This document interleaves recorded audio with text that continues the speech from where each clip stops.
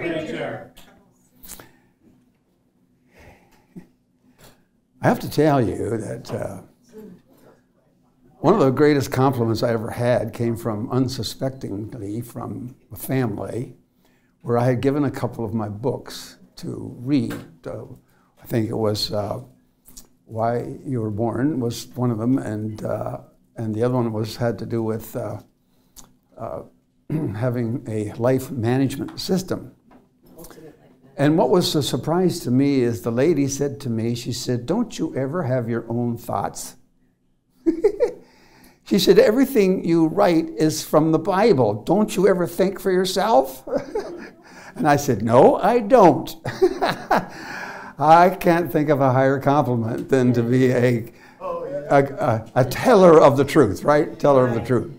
Well, today our subject is kind of important, and it is uh, how God has designed real prayer. So get your notes together and get ready because here we go. Let's take a look at some of these scriptures and understand what real prayer is really all about.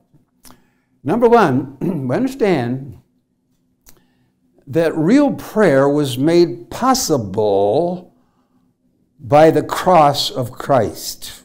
Whoa. Before the cross, men were adverse to God entirely, but watch this now. But now, in Christ Jesus, you who were sometimes afar off are made nigh by the blood of Christ. Watch it now. For he is our peace he has made us one and hath broken down the middle wall of partition between us. Whoa. This is why when we pray, we always pray in the name of Jesus because he's the only one that can give access to God the Father. Only way. So real prayer is made possible by the cross of Christ. In fact, uh, that's why that's why um, uh, I, I would almost chose this as my title slide because it's only through the cross that we have access to our heavenly Father in prayer. Prayer is possible. Access to God is possible only because of what Christ did on the cross. That's right. Now, we must move uh, and, and, look at the scripture one more time, because He is our peace who has broke, who's made us one with God and broken down the partition that separated us. This is so delightful. Now, we want to learn a bunch of things about prayer, so let's just keep going. And that is this that the prayer designed by God is a full time presence and a 24 hour a day, seven days a week response from God. It's not a little dabble do you, it's not just a little prayer here and a little shot there.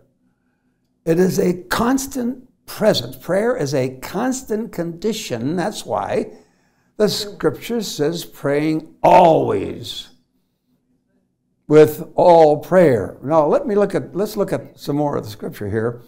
And supplication in the spirit, watching thereunto. Make sure you do this full time. With all perseverance and supplication. Stay prayer is designed to be full time presence of God. And let's take a look at this. Um, it's designed for constant communion with God. Constant. Now, I'd like to just stop for a moment. Do you remember? And let me give you a definition of prayer. Prayer is having God in all your thoughts. You remember the scripture? The wicked. How does that scripture start? Through the pride of his, Through the pride of his countenance. countenance he does not seek after God, for God is not in all his thoughts. If you want to know the cause of wickedness, it is the absence of God in our thoughts. And it is the pride that causes that absence of God because we think we know it all. And so, through the pride of his countenance, he doesn't seek after God. God is not in all his thoughts. But prayer is designed to be full time, God in all our thoughts. So let's take a look at this scripture now. Because the, this is the basis of communion with God. Communion with God. It's not something you stop and start, it's something that stays there all the time. Verse we've already mentioned praying always with all prayer. Watch it now. That's why the scripture says, pray without ceasing. Keep God in all your thoughts because prayer designed by God is not a little here and a little there or wait till I got a problem. It's living in His presence, it's living in communion with God all the time. So let's go forward now. Oh, I forgot to put this verse in here. Let your conversation, that is your, your lifestyle, be without covetousness. Be content with such things as you have.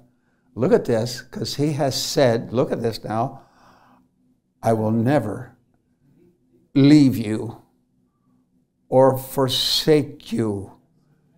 If God doesn't seem present in your life, guess who moved? It wasn't God. He says, I'm going to be there for you all the time, all the time, all the time, all the time. You said, I will never leave you. Prayer is designed for constant communion with God who says He'll be there all the time. And I will never, I will never, never. That's a big word. I will never forsake you. Whoa. Why is that? So you can boldly say, The Lord is my helper. And I will not fear what man may do to me. And so you need to get the next point of design prayer by God. It's a source of divine help. Prayer is where you go to get help from God, who knows everything, whoa, whose wisdom has no limit, whose grace has no measure, whose power hath no measure, known unto men. Wow. So watch this now. It's a source of divine help so that we can boldly say, the Lord is my helper, and I will not fear what man shall do unto me. When you got God for you, remember the scripture? Greater is he that's in you than he that's in the world. No fear, no fear, no fear, no fear. Now, real prayer must be without hypocrisy. So when Jesus teaches on prayer, this is what he says. When you pray, don't be like the hypocrites are. So, what were they like? And by the way, here's a good definition for hypocrite or hypocrisy it is assuming a false appearance, a false appearance of virtue or goodness. I don't know about you, but you know, I watch the news and there's some tragedy reported, and the newscaster says, Oh, our prayers go with them. Our prayers go out to them. What are they talking about?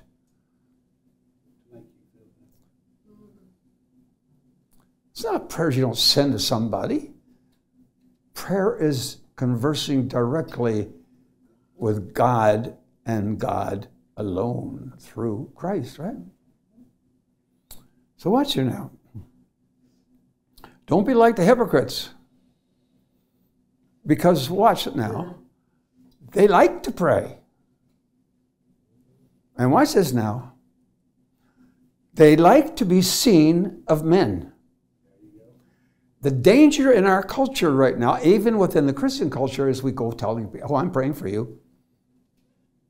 As if that's got some political power, as if that's got some social influence. It is a misuse of prayer.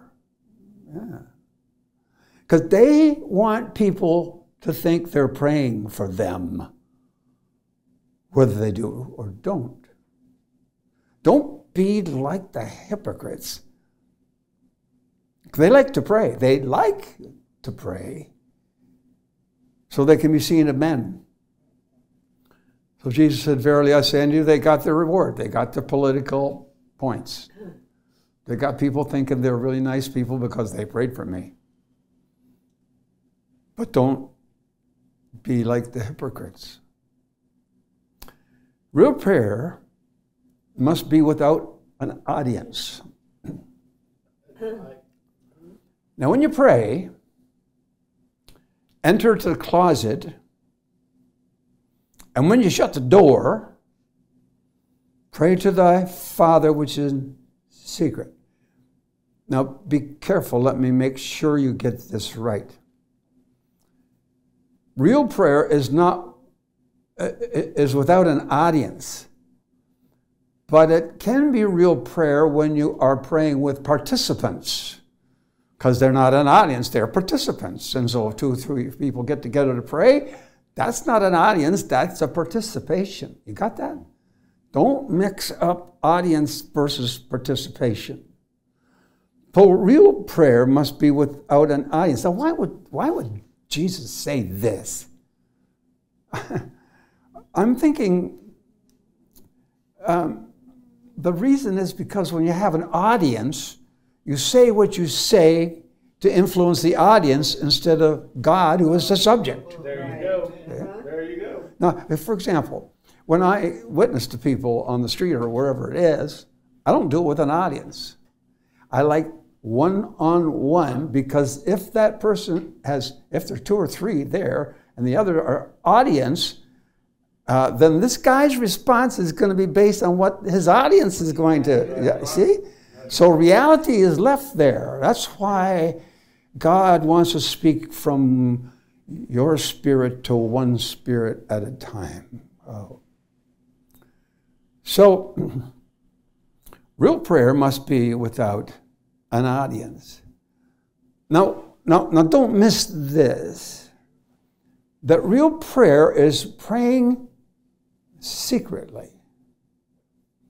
Shut the door. Now, when I was a kid, I, my dad quoted this verse, and I'd go home look into my closet. There was no room. There were baseball bats and footballs and all kinds of stuff. so I didn't understand it back in that day, but a closet, a place closed off from everybody and everything else, a place of secret. Watch now. And the Father, because this is where reality kicks in now, He's the only one that sees in secret. And so between you and God Himself, in the secret place, you get through because real prayer is done just between you and God. And what does He promise to do? He says He will reward you openly. Well, my goodness, isn't that delightful? Oh, so many scriptures come into my mind. I'm, I'm going to try and resist them, but no audience. That's why God says, be still and know I'm God. He that dwelleth in the secret place of the Most High shall abide under the shadow of the Almighty. Now, real praying first, first requires the forgiveness of all our offenders. Whoa. When you stand praying, forgive.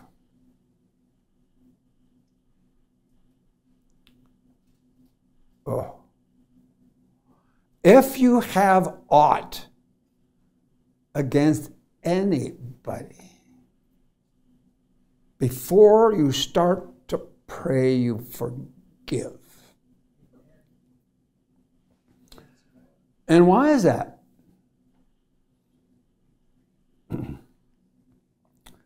When you stand praying, forgive.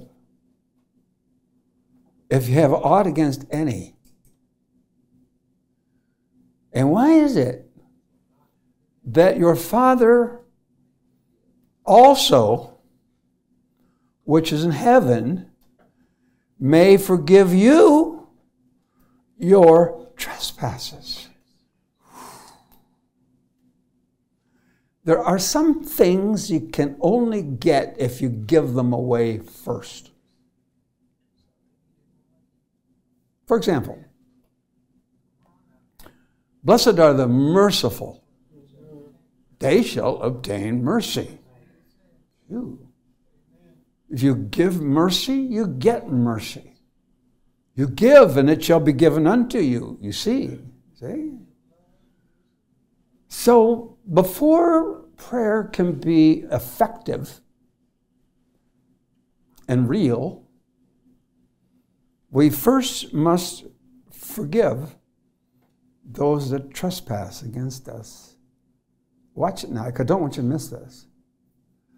Because by forgiving others, we get forgiveness by God. And now, when you pray, you're praying from the ground of a forgiven saint. Whoa.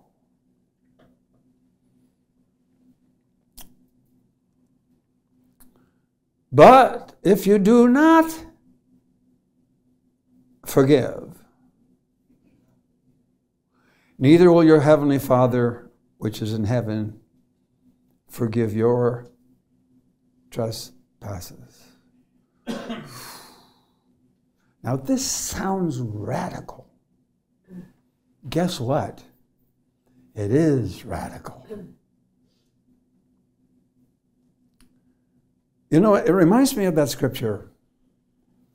If you come to offer to the altar a gift to God, and there remember that your brother hath aught against you, leave your gift. Go get reconciled to your brother, then come and offer your gift. It's because God is so vitally committed to the wellness and the well being of relationships. He doesn't want to he doesn't want you to live unforgiven, and he doesn't want the people who have offended you to be unforgiven. So understand that real praying first requires the forgiveness of others.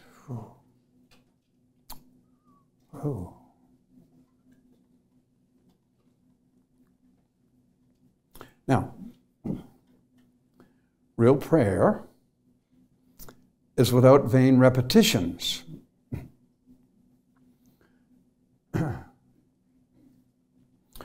when you pray, use, look at this, use not vain repetitions as the heathen do.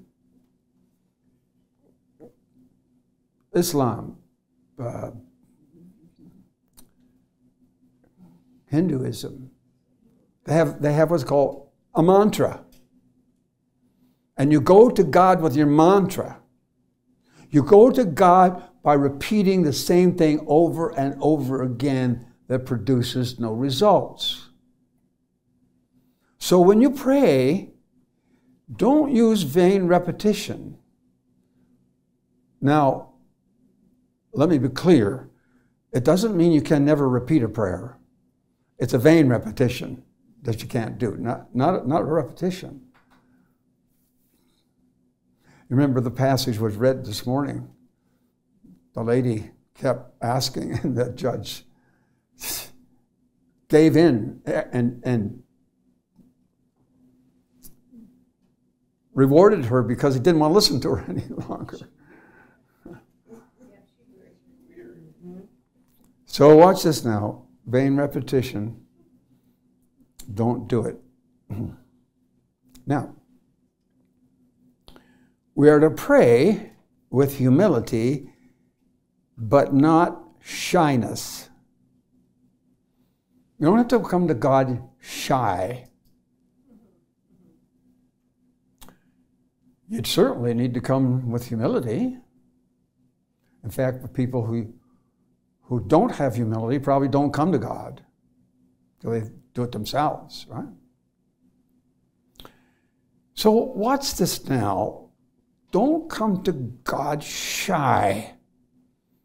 So, here's what the scripture says Let us come boldly unto the throne of grace that we may obtain mercy and find grace to help in time of need. You don't need to be bashful. You can be bold. Let's come boldly, boldly, boldly. Now, you understand, bold does not mean brashly. Let's look at another scripture.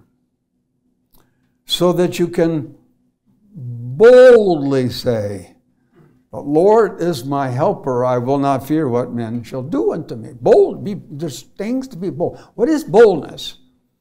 It is confidence that what I have to say or do is approved by God. So we pray with humility, but not with shyness, but rather with boldness. uh, here it is boldness is confidence, but not brashness. We're to pray with humility, not shyness. And then real prayer is entered into with thanksgiving. Attitude is really important. Enter his gates with thanksgiving and into his courts with praise, and be thankful unto him and bless his name. Wow. Gratefulness. Some people have tried to turn prayer into a complaint session, never expressing grateful for what God has already done, but in an irritating human way they go to God with grumbling instead of thanksgiving. Grumbling. You know what Scripture says about that? Do you know how many people died in the wilderness because they grumbled? Don't go to God grumbling, go with thanksgiving. Whoa, watch it now. Enter his gates with thanksgiving, into his courts with thanksgiving, and bless his name. For the Lord is good. That's why you can be thankful. And his mercy is everlasting, and his truth endureth to all generations. So, enter it with thanksgiving. then, real prayer is often without an agenda. Whoa. Not every prayer has to have an agenda.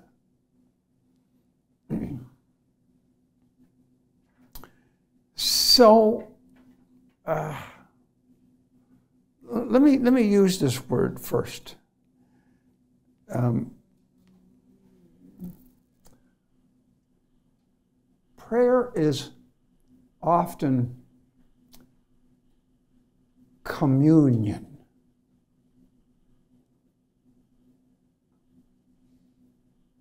No agenda. Just being in his presence. oh. Look at this.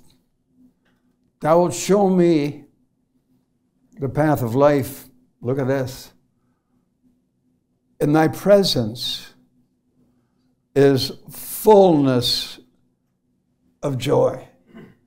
And at thy right hand there are pleasures forevermore. Sometimes prayer is just being there with God. No agenda.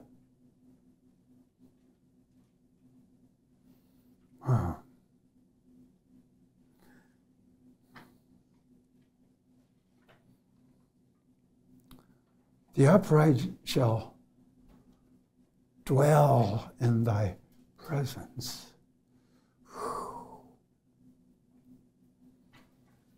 Just sit there, stand there. Just don't bother with an agenda at the moment. Just enjoy presence.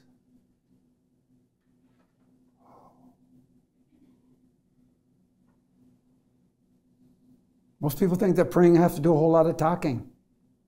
You don't have to say a word. Just dwell in his presence. That's why this famous scripture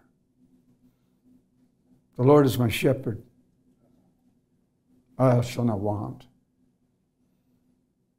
He makes me lie down. Just lay down, David. Stop. Stop.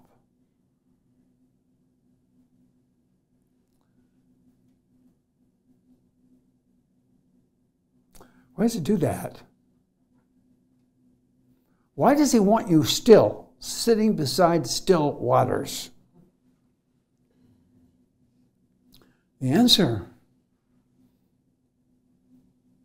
is because just being there,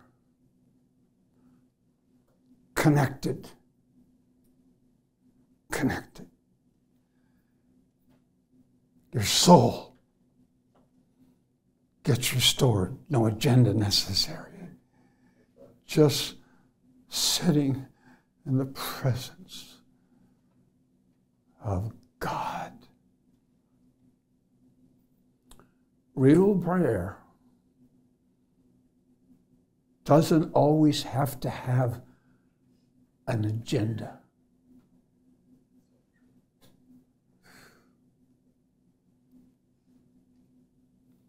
It's just dwelling. Because if you dwell in the secret place, no audience, nobody else, just you and God. Dwell in the secret place of the Most High, you will abide. Oh, abide. That's a great Bible word. Abiding in the vine. Remember, you'll abide under the shadow of the Almighty.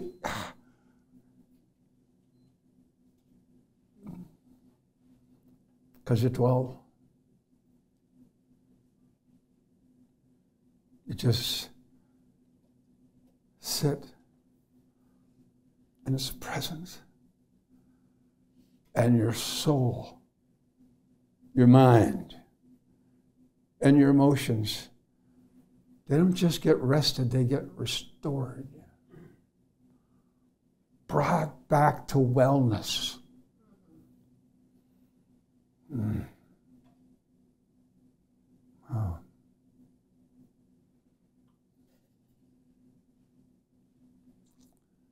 For thus saith the Lord God, the Holy One of Israel, in returning and rest.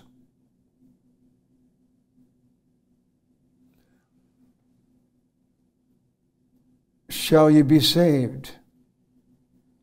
Watch it now. Watch this scripture. Because real prayer is often without an agenda. I'm going to come back to that in a moment. It reminds me of this chorus we used to sing Shut in with God in a secret place. There in this presence, beholding his face, gaining new power to run in life's race, I long to be shut in with God. So, what happens there? In returning to Him and resting in Him, you'll be saved from whatever's trying to get at you. Now, watch this now. In quietness and in confidence shall be your strength.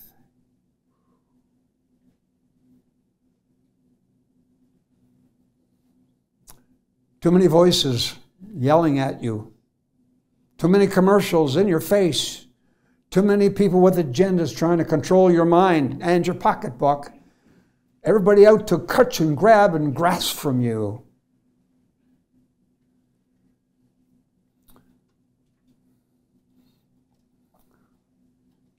But there's a place of quiet rest near to the heart of God, a place where sin cannot molest, near to the heart of God. So, a real prayer is simply being with God conscious of Him and nobody or anything else, including an agenda.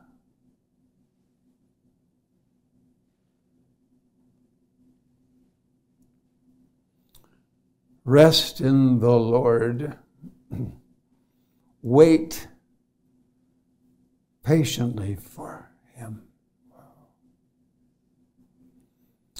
So, this is really one of the benefits of real prayer. now, real prayer is a dialogue, not a monologue. it is more important that I hear from heaven than that heaven hear from me. Right. Most people think prayer is advising the Almighty, omniscient God what he ought to do for the next 24 hours. As if he doesn't know. and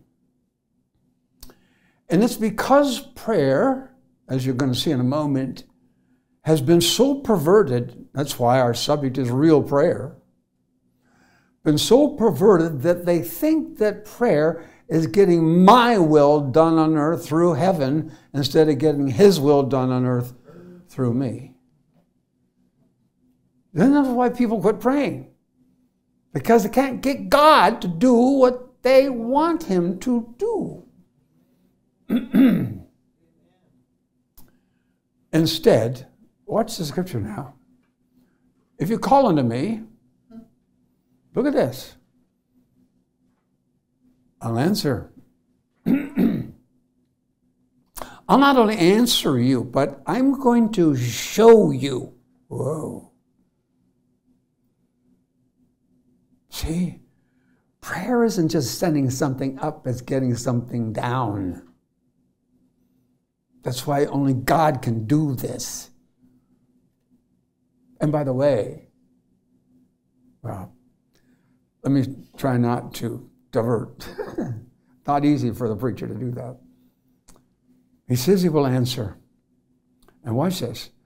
He will not only answer, but he will show you. In one place says he's going to show you things to come.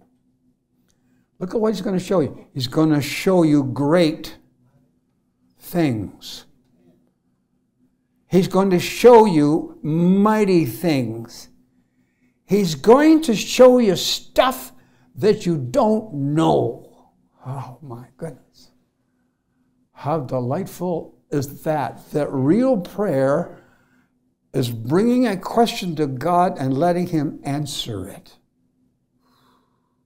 And you go away from that moment of prayer, or maybe you won't, you just stay there all the time in His presence. But now you're equipped you're empowered.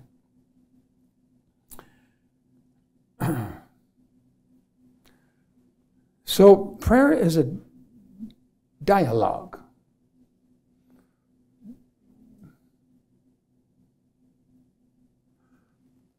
God still speaks today.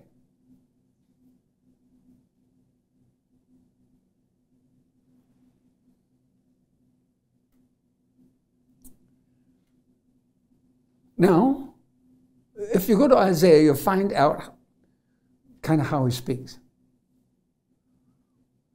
He doesn't yell and scream. He doesn't throw a fit. He's never out of control. He's never got a pointed finger condemning and putting you down. Never, never. Never destructive, always constructive, always lifting you up, not putting you down, always taking you forward, not backwards. That's what he's like, you see. So, how will you know him? And Isaiah says, Watch it now. His voice is not in the thunder, it's not in the explosion, it's not in the fire. But thine ears shall hear a word behind thee.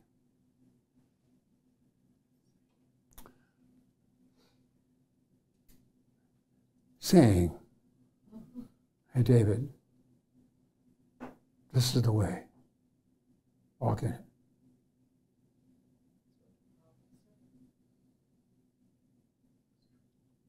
My son, my daughter, relax, let me show you the way. It was tragic that they spent 40 years in the wilderness. 40 years to travel, if they had done directly and followed the directions of God, 11 days. 11 days would have covered the territory, but it took them 40 years because they wouldn't listen. They wouldn't do their own thing.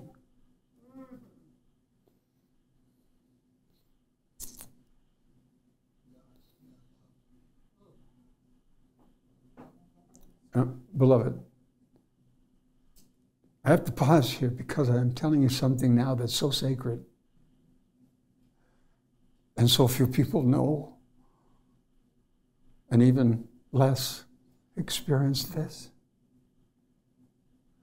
But one of the most important things in your life is the ability to hear God speak to you.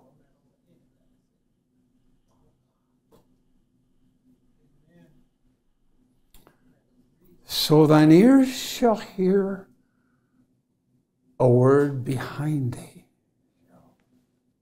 Just comes from behind. And it says, Hey, son or daughter, this is the way. Walk in it. And when you're going somewhere, when you turn to the right or to the hand or to the left, I might get in trouble for this, I don't know. But um, I don't know if I'm supposed to share my wife's stories without permission first. but you've heard the story before, so I think I'm in good grounds. She's driving with a coworker talking about the things of God, which is what you do when you're with my wife. You talk about God more than anything else. Love that woman. They're coming over a bridge, approaching a bridge. They're following a truck loaded with sod. She's talking to the coworker about listening to God's voice. And she said, Well, this may seem really funny to me, but God's telling me to change lanes. so she changed lanes in front of the coworker. and just after changing lanes, a pile of sod fell off the truck in the lane in which she had been.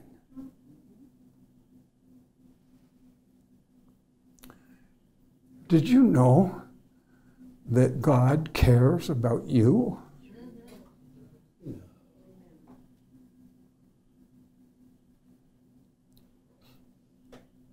You are precious in His sight.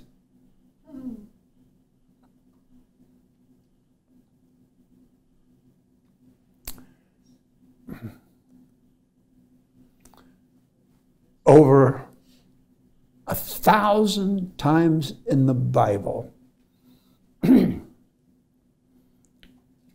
find the phrase, and the Lord said. And the Lord spake, and He hasn't changed. Real prayer is listening. And that's why the scripture says this As many as are led by the Spirit, they are the sons of God. Oh my. Hallelujah. Almost done. By the way, this is only part one. The best is yet to come next time we get together. now, real prayer is often the impartation of wisdom from God. Wisdom, wisdom, smarts. smarts. Got a book coming out, soon to be released, hope, called How to Get Smart Book. It's based on the, what the Bible says about wisdom. uh, it's a lot of chapters. Because God, wisdom is the principal thing. Did you know that? And with all of your getting, get wisdom and get understanding with it. Yeah. Understand why it's so smart. Wisdom is simply the Bible word for the contemporary word smart intelligent. So, so prayer is connected to this.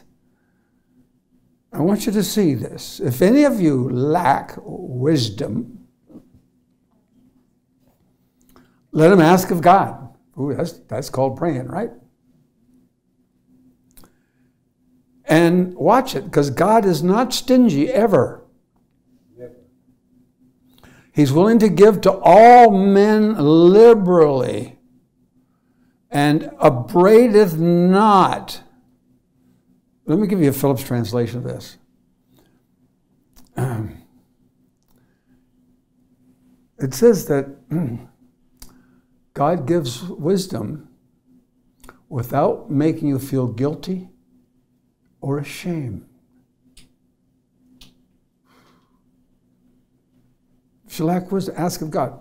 He will give it to you without making you feel. That's what this word upbraideth means. He doesn't upbraid you. He doesn't say, Oh, well, you dummy, here's the answer. He doesn't put you down. Now let's go back and take a look at this one more time. He gives, the request is for wisdom, right? The ability to know what to do in a given situation. In fact, we have a good definition wisdom is seeing life from God's point of view. Seeing and understanding life from God's point of view. Now, a good uh, example, had I thought ahead of time to do this, and I would have put up on the screen a picture of a maze. You've got to find your way through the maze. Well, if the maze is life size and you can only see left, right, and center, but if you can get above the maze and look down on the maze, you can find your way through. That's what wisdom is. Wisdom is the ability to see and respond to every life situation, not from stuck down here in the middle of it, but from God's point of view, which is above it. Oh, this wisdom thing is big stuff, big stuff. Well, let's get back, or we'll be here all afternoon. it shall be given him. But let him ask in faith, Philip translated, but let him ask in sincere faith, without secret doubts as to whether he really wants to know God's will or not. Let him ask faith, nothing wavering Because he that wavereth is like the wave of the sea driven by the wind and tossed. Let that man not think that he shall receive anything of the Lord. Why is that? Because a double minded man is unstable in all his ways. God wants you to see straight on every area of life and not have a double mind. Now, this double minded thing is, uh, in our culture is called bipolar. There's an awful lot of spiritual bipolar, by the way. People think one way and got oh, oh, back and forth. A double minded man is unstable in all his ways. So let the brother, now I love this, let the brother who of low degree, the guy who doesn't think he's very much, and the guy that other people don't think he's very much, rejoice in that he is exalted. How did he get exalted? Because God gave him the smarts, gave him the wisdom. All right. One more point, and I have to warn you that next time we get together, it is um, the most important conclusion for this. But it would not be right to end this without understanding that real prayer is God applying his word.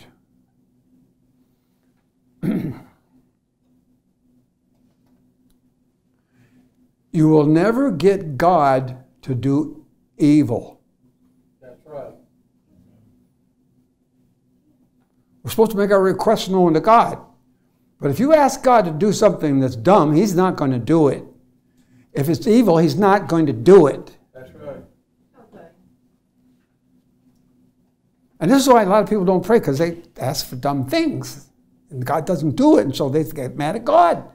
God God will never tell you in prayer something devoid of, separate from, or different from what is already spoken in His Word. Amen. The only way to be more spiritual is to be more scriptural prayer is not some separate notion of God divorced from what He's already said in His Word. That's why the scripture comes so clearly and says, All scripture is given by the inspiration of God. Now, let me show you something about it. And it's profitable profitable. Now, watch here now. Because in prayer, often God parallels exactly what He's already spoken in His Word. In fact, He will never contradict it. Never. Never. It's forever settled in heaven. The Word of God is forever settled in heaven. And the Word is, the Scripture says, it endureth to all generations. It's as accurate today as it ever was. But, oh, but, but, watch out for the translators. Because the scripture says that no scripture is a private, no prophecy is a private interpretation. Nobody gets to say, my version is this. Oh. Well, this is what it You can, you have, there are translations of the Bible out right now, and very popular ones. The publisher publishes it, publishes it, and also publishes the Satanic Bible, and also publishes the joy of gay sex. Is something wrong, publisher? Excuse me. Because the scriptures are so sacred so precise. Now, we follow the King James, and I'll tell you why. Over 55 scholars had to come into agreement when they moved from one language to English, from other languages to English. Whoa. No private interpretation was allowed. We have perverted people interpreting Scripture Now, if you were the devil, wouldn't you like that? If you could pervert the Bible. Now, the only problem with the King James is it was, it's, and, and, and maybe I should be careful here about the New King James, but the change in linguistics over the years um, needs to be taken into consideration. For example, the scripture talks about the bowels of mercy. well, bowels today have a different notion than the bowels back in those days. The bowels back in those days meant your heart, not your abdomen. So there are words that have changed, and we need to compensate for that. But let's get back to this now.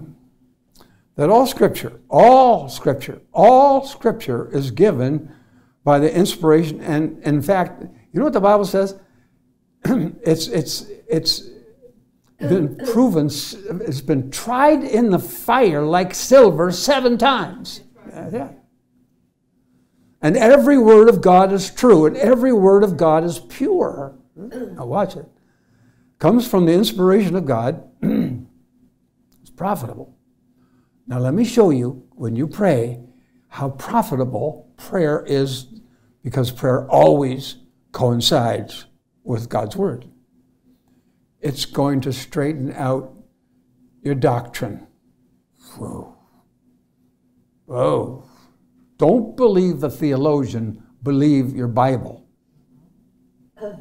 There are whole theological uh, books, volumes, peddled in colleges and seminaries with men's idea about the Bible instead of the Bible's idea about the Bible.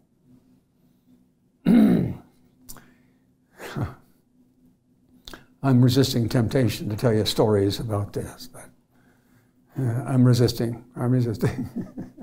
when I was in college, I was. Come on, preacher. Come on. Come on, preacher. Okay, I'll give you one. Amen. I quit resisting here.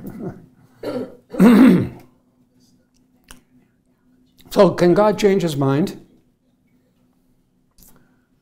What does the Bible say? Or what do the theologians say? The eternal now heresy has got people thinking God could never change his mind. So I'm sitting in class, right? We're studying the book of Genesis. And Moses is up in the mountain with God getting the Ten Commandments, and they look down and they see the people have coin, pooled their gold and are worshiping the golden calf. and God says, Moses, I'm going to destroy them. Look at what they're doing. I'm going to destroy those people. And the next verse, and Moses says, God, you need to repent of the evil, not the sin, but the evil you're about to do. Next verse. And God repented. I lifted my hand in class and said, Sir, God changed his mind. No, God didn't change his mind. God said what he said, knowing full well that he would change his mind. Oh, so, sir, you mean God lied? Uh-oh. You mean that God said he was going to change his mind, but he knew in advance he wasn't really going to? So you're making God out to be a liar? Excuse me, sir, I believe the Bible, not your theology. I almost got kicked out of class for that. And I probably should have because I had a bad attitude. believe the Bible. Amen. Now, watch it. Let your doctrine come from the Bible, not from a theologian who thinks he knows better. It's not just profitable for doctrine, but it's profitable for reproof. So when you're in prayer, when God speaks, sometimes it's a reproof. You're going the wrong way. Stop it. Go this way instead. That's a reproof. Or it's a correction. Or it's an instruction in righteousness. Why would God do all this? Why is prayer so linked up with His Word? The answer is so that you can be perfect.